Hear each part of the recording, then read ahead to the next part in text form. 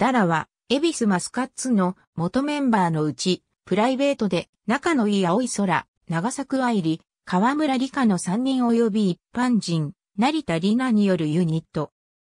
その後、小倉遥と河村恵奈を加えた6人となった。ユニット名は、結成当時人気だったからにちなむという説と、ダラダラしているからという説がある。マスカッツ在籍中の2010年に結成された。5月5日をダラの日としている。レギュラー番組内で活動したほか、不定期でトークイベントダラ会を開催中。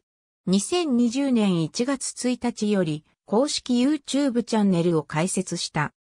長らく AV 業界では別事務所同士の女優同士が連絡先を交換する飲み会をするなどはメーカーや事務所の違いで出演料格差の情報が出てしまうことを恐れタブーとなっていた。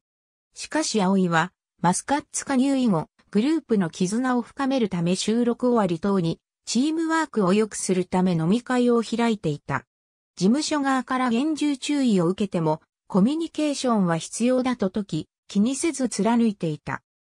番組制作側にも注意が渡り、総合演出のマッコイ斎藤は何が悪いのと思った。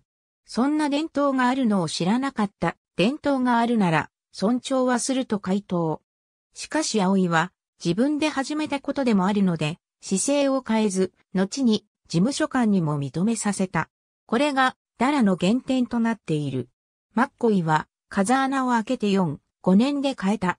言われたってめげないと評価しつつ、くっそみてえなダラと罵ってもいる。ありがとうございます。